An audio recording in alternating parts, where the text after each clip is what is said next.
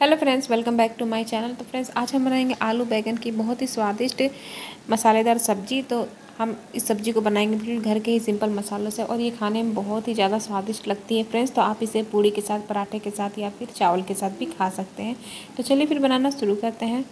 तो इसके लिए मैंने यहाँ पर दो बैगन को इस तरीके से कट कर लिया था। ये देखिए तो मैंने यहाँ पर बैगन का जो डंडी है ना, वो भी कट करके रखा हुआ है। बहुत ही अच्छा लगता है इससे तो इसे डालकर काट कर मैंने पानी में ही डाल के रखा है, नहीं तो बैगन जो है बहुत जल्दी काले पड़ जाते हैं। और साथ ही यहाँ पर मैंने दो मीडियम साइज़ के आलू लिए थे।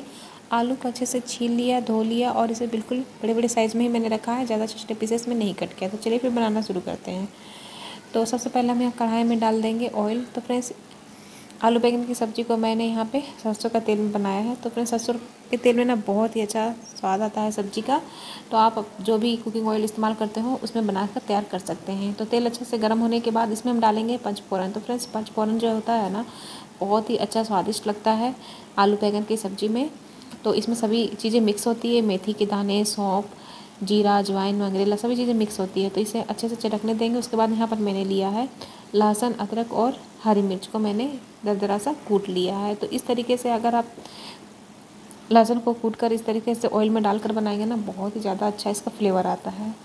तो जब अच्छे से ये थोड़ा फ्राई हो जाए तो इसमें हम डाल देंगे कटे हुए आलू। और आलू को भी हम इस तरीके से ऑयल में मिक्स करते हुए लहसुन के साथ पकाएँगे। इससे बहुत ही अच्छा फ्लेवर आता है आलू में। फ्रेंड्स, इस तरीके से एक बार आप बना के ज़रूर से देखिएगा। बहुत ही अच्छी बनती है आलू बैगन की सब्ज़ी।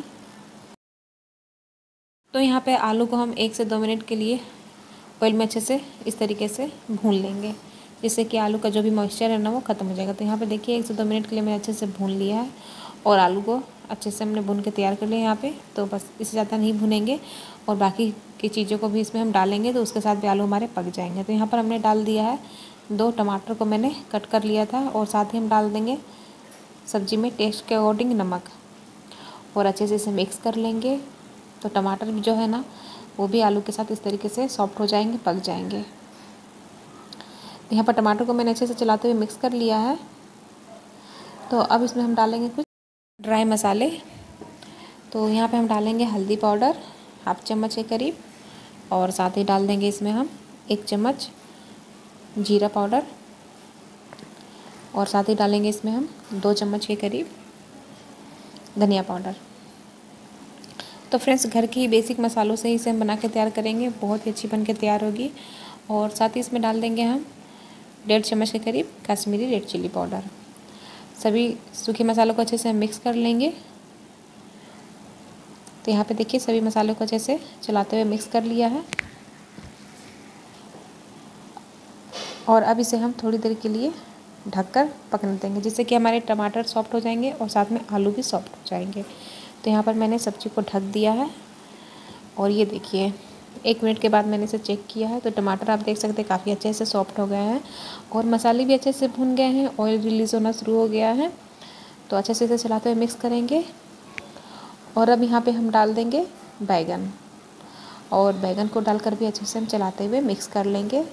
तो फ्रेंड्स, बैगन को पकने में ज़्यादा समय नहीं लगता है। बहुत ही जल्दी बैगन जो है कुक हो जाते हैं। इसलिए हम इसमें ज़्यादा पानी डालकर इसे हम कुक नहीं करेंगे। इससे हमारी सब्ज़ी जो है बहुत ज़्यादा ओवर कुक हो जाएँगे। अच्छे से हम चलाते हुए मिक्स कर लेंगे। और यहाँ पे देखिए, सभी सब्ज़ी को मिक्स कर लिया है। इसे हम ढक देते हैं, थोड़ी देर के लिए पकने देते हैं, क्योंकि बैगन से थोड़ा पानी रिलीज़ होता है। तो यहाँ पे देखिए, बैगन को भी मैंने ढक के थोड़ी देर पकाया है। बैगन भी हमारे काफ़ी अच्छे से सॉफ्ट हो गए हैं। और अच्छे से हम इसे चलाते हुए भून लेंगे एक दो बार। तो सब्जियों को अच्छे से मिक्स कर लिया है, अच्छे से भून लिया है। और अब यहाँ पे हम डालेंगे हाफ़ चम्मच के करीब आमचूर पाउडर। तो फ्रेंड्स, यहाँ पे हमने डाला है, टमाटर भी डाला है। अगर आप आमचूर पाउडर नहीं डालना चाहते तो आप नहीं डालें। लेकिन इससे सब्ज़ी में बहुत ही अच्छा सा फ्लेवर आता है खट्टा खट्टा सा। और हमने बिल्कुल थोड़ा सा डाला है गरम मसाला और इन्हें भी अच्छे से चलाते हुए मिक्स कर लेंगे।